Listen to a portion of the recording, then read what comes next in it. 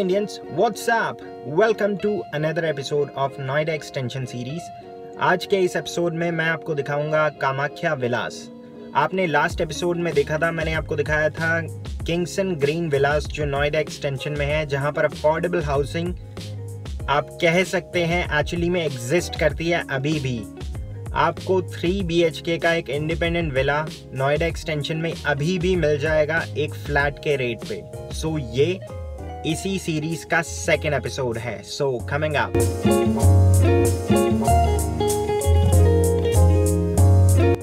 इस वीडियो को शुरू करने से पहले मैं यहाँ पर एक डिस्क्लेमर देना चाहूँगा। मैं कोई रियल्टर नहीं हूँ और ना ही कोई ब्रोकर हूँ और ना ही ये कोई प्रमोशनल वीडियो है।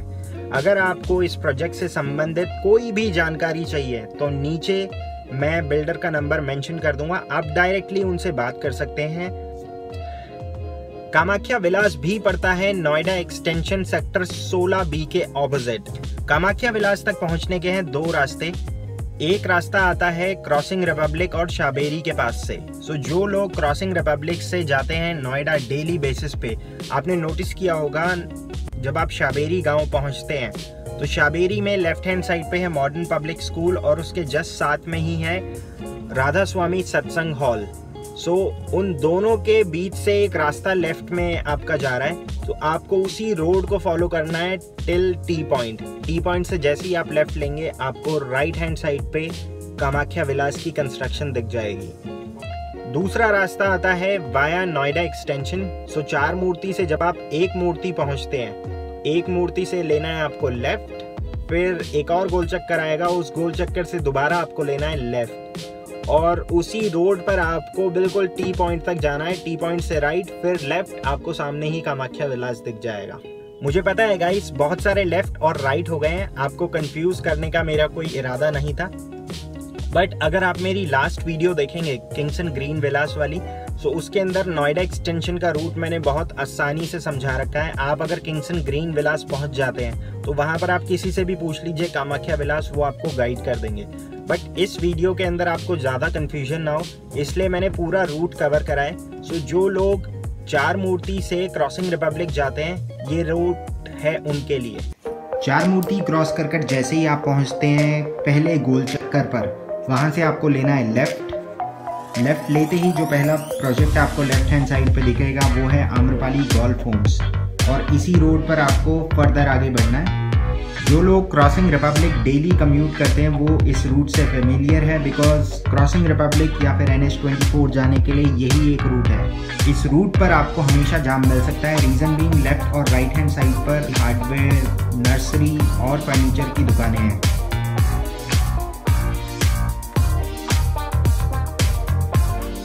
जैसे ही आपको ये वाली बाउंड्री दिखे आप समझ जाइए, आपको अपनी गाड़ी की रफ्तार धीरे करनी है बिकॉज़ इसके बाद आता है एक कट और वहीं से लेना है आपको राइट लेफ़्ट हैंड साइड पर एक और लैंडमार्क है मॉडर्न पब्लिक स्कूल सो जैसे ही आप राइट लेंगे, आपको वो दिख जाएगा।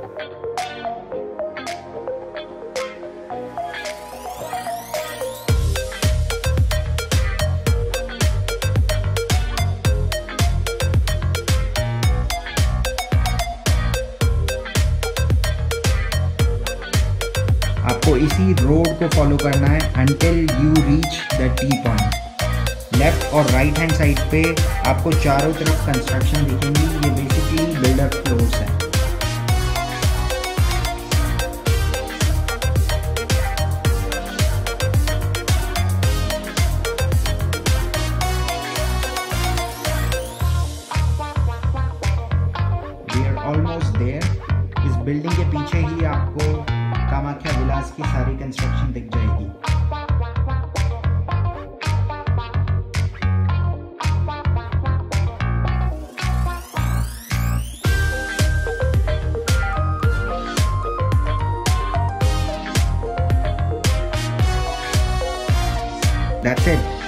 Have now reached the site of Kamakya Vilas.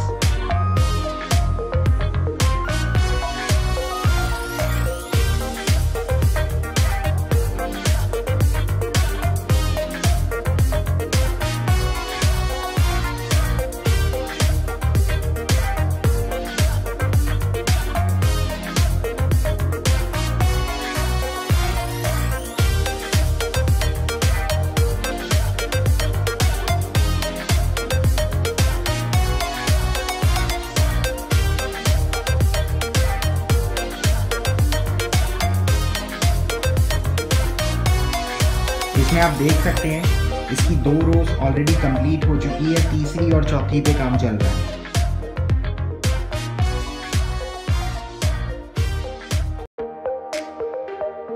Let me just give you a 360 degree view of the entire site. आपको चारों तरफ़ सिर्फ़ लो राइज इंडिपेंडेंट फ्लोर्स ही दिखेंगे। और इसके जस्ट ऑपोजिट पड़ता है नोएडा एक्सटेंशन का सेक्टर 16 बी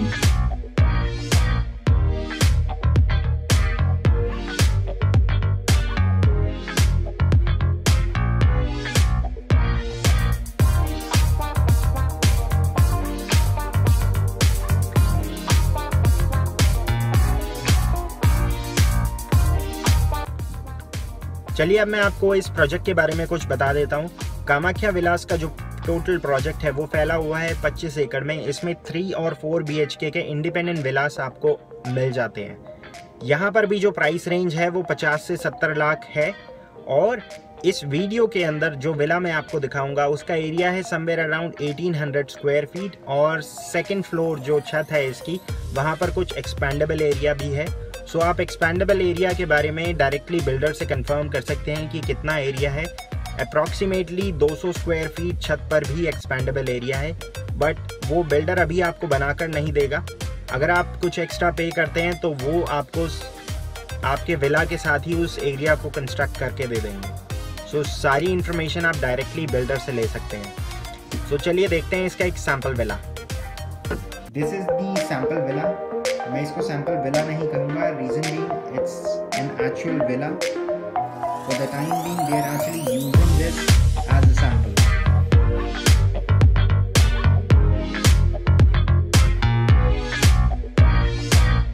तो this is the main entrance enter करते ही लेफ़्ट हैंड साइड पर है लिविंग एरिया और सामने की तरफ़ है डाइनिंग एरिया लिविंग एरिया के जस्ट साथ में ही है किचन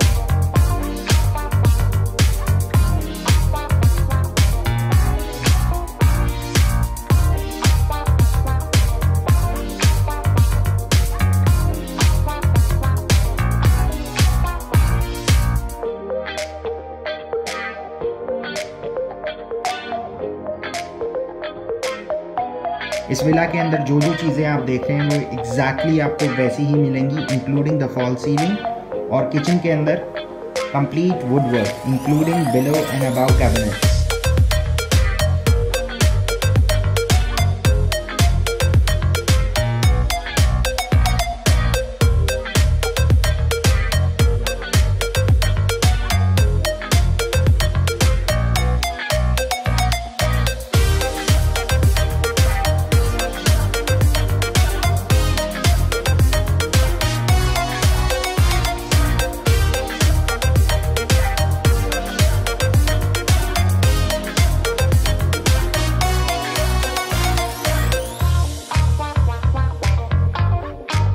living room के अंदर आपको एक चीज़ और एक्स्ट्रा मिलेगी that is the LED panel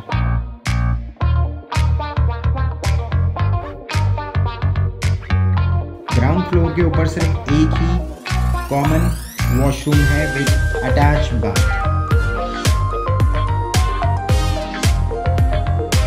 this is the first bedroom on the ground floor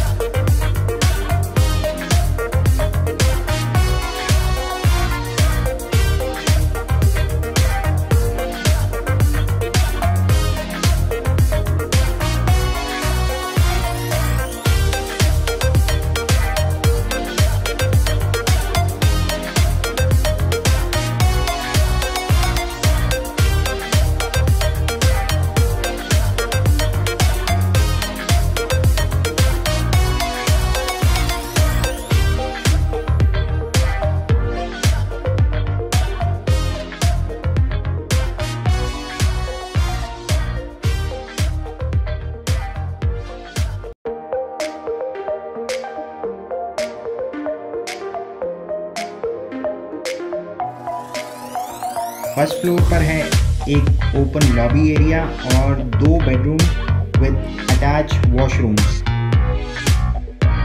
this is the first bedroom on the first floor इसके अंदर भी जो बेड है, वो है king size bed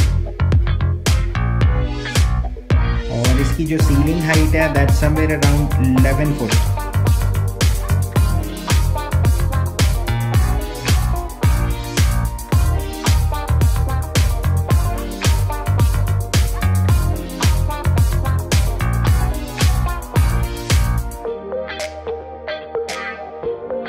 king side bed होने के बावजूद आप देखें तो कितनी ज़्यादा स्पेस इसमें अभी भी बची हुई है।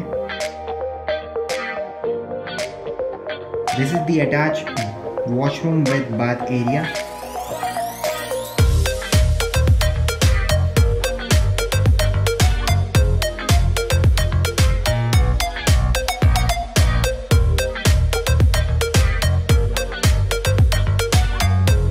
ये है इसका मास्टर बेडरूम बेडरूम्स के अंदर इनफैक्ट तीनों बेडरूम्स के अंदर आपको वार्ड्रोब बनी भी मिलेंगी। एक और चीज़, पूरे घर के अंदर एलईडी लाइट्स लगी हुई होंगी which is already included in the cost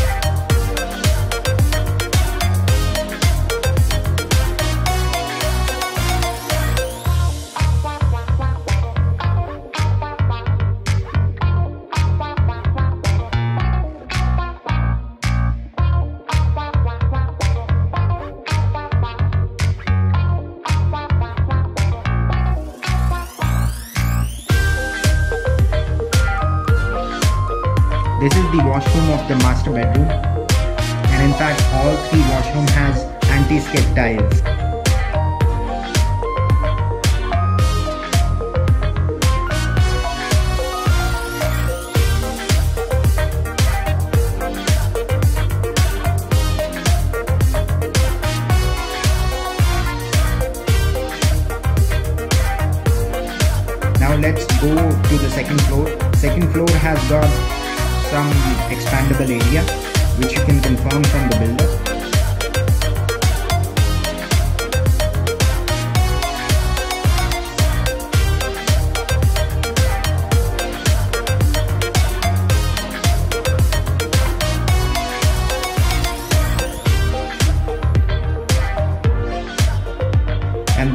This is the top floor.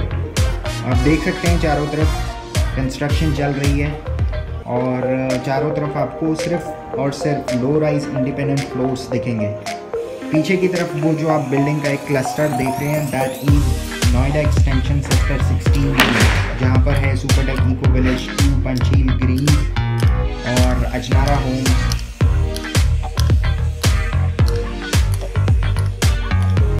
Alright guys, that's it for the day. I hope you enjoyed the preview of Sample Villa in this video. आने वाले episode में मैं आपको दिखाऊँगा ऐसा ही एक और project Noida extension में जहाँ पर आप साकार कर सकते हैं अपने इंडिपेंडेंट हाउसिंग का सपना और वो होगा इस सीरीज़ का थर्ड एंड फाइनल एपिसोड इस सीरीज़ के ख़त्म होने के बाद मैं एक और सीरीज़ लाऊँगा जिसके अंदर मैं कुछ और इंडिपेंडेंट विलास प्रोजेक्ट आपको दिखाऊँगा बट फ़र्क ये होगा, वो रेप्यूटेड बिल्डर्स के होंगे। ये न्यू कमिंग बिल्डर्स के थे। यहाँ पर जो प्राइस रेंज थी, वो थी 50 से 70 लाख बट वहाँ पर जो प्राइस रेंज होगी, वो होगी somewhere around 90 lakhs and it goes beyond 1.5 point एक और चीज़ guys while going through my analysis report I notice that 90 to 95 percent of viewers who watch my videos are actually not my subscribers ऐसा क्यों guys you know that i'm here for a goal and that goal is the silver play button और उस silver play button को achieve करने के लिए जो number होने चाहिए वो है 100 के subscriber and that is only possible when you click on the subscriber button it's a kind of achievement और इसका एक और मतलब ये भी होता है कि आपको इतने लोग सुनते हैं। आपकी आवाज़ में इतना दम है कि आपके इतने फॉलोअर्स हैं। So guys I am here to achieve that goal money is not a problem for me YouTube मेरा जस्ट एक पैशन है। और एक और चीज़ आप जब भी किसी काम को करते हैं जैसे मैं अभी एक स्टार्टअप आइडिया पे काम कर रहा हूँ सो so, उसके लिए इनिशियल कैपिटल तो लगती ही लगती है बट आपको कुछ टाइम भी देना पड़ता है। Same is the case with YouTube YouTube बहुत सारे लोग ज्वाइन करते हैं जस्ट फॉर मेकिंग मनी यहाँ पर मैं उनको बता दूँ जब भी आप कोई चीज़ पैसे के लिए स्टार्ट करते हैं वो कभी भी सक्सेसफुल नहीं हो पाती है। बट जब आपका आइडिया सक्सेसफुल हो जाता है पैसा एक्चुअली में एक बाईपास प्रोडक्ट बन जाता है। सो so, मैं आपको ये इसलिए बता रहा हूँ because I use to run a small business to business magazine वो था मेरा पहला बिज़नेस और जिसको मैंने आगे बेचा। उसके बाद now I am working on my second business venture so उसके बारे में मैं आपको आने वाली वीडियोस में बताऊँगा। With that being said, I'm gonna wrap up this video right now. If you enjoyed this video, please give it a thumbs up and make sure you click on that subscribe button. I'll see you guys in next video with a new topic and new place. Till then, take care and goodbye.